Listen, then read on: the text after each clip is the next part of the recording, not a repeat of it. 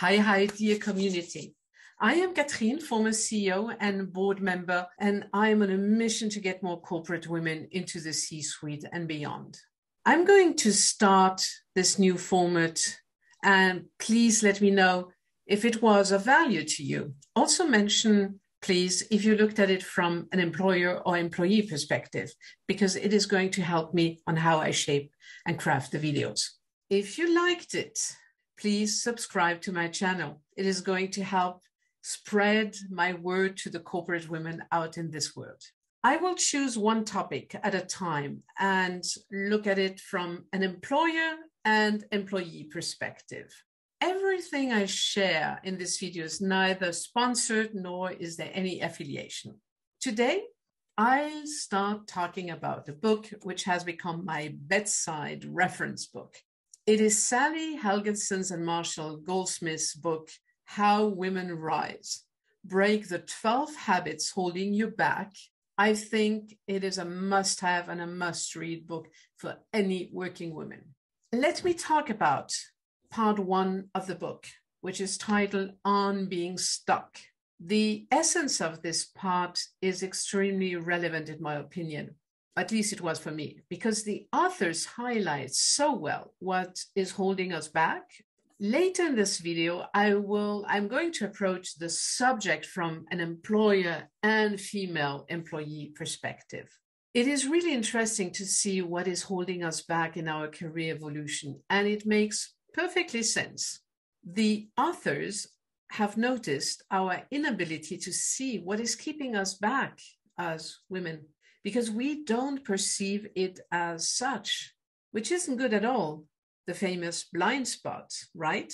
What are these behaviors, these attitudes, which are or can be detrimental to for us?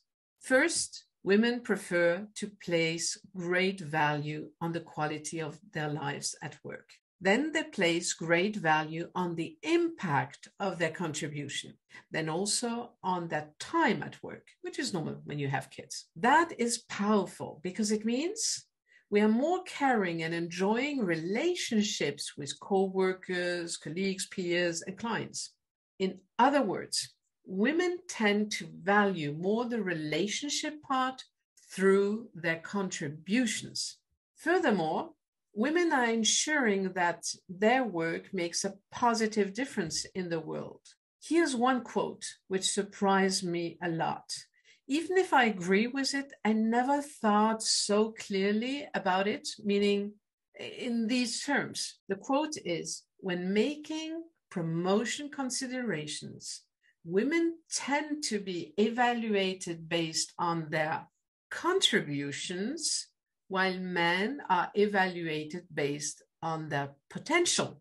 And it makes perfect sense. It is so true, especially when leadership teams are reviewing the talent grids. This comment surprised me because I realized that this is definitely an area of potential blind spot for so many leadership teams. Let's have a look at this statement from an employer perspective. When we evaluate women based on their contribution, on their results, if these women generate high results, we are still evaluating them them on their next contributions and not on their potential. Still, when I look back at employee performance evaluations, we were indeed approaching the talent assessment from a, let me call it a more masculine energy. Let's look at the performance matrix. The idea of the matrix is that you are in or you should move towards the upper right side of the matrix. Just keep in mind, depending on the new aspects of or new aspects of your career or role, you won't be able to be in this part of the matrix all the time. You will be moving within this, this grid depending on your responsibilities and roles. Basically, if we look at the potential axis, we have the inconsistent player and the potential gems. And on the performance axis, the average performance and the solid performance. So based on the authors, you as a woman, you do not want to be in the solid performer square, at least if you do not want to be evaluated evaluated for your contributions only. Because we are punishing ourselves, we women, right? Even if we get compliments for the results we generate from our leadership, this is clearly a trap. For you as a leader, I would encourage you to bring this fact or perception to the attention of women. It is a responsibility now that this distinction was made so clearly by the authors. And I think we cannot highlight it enough. So now let's have a look at the female employee perspective. I think it is clear that women don't see that their potential is considered being low when in fact they care so much for the for the impact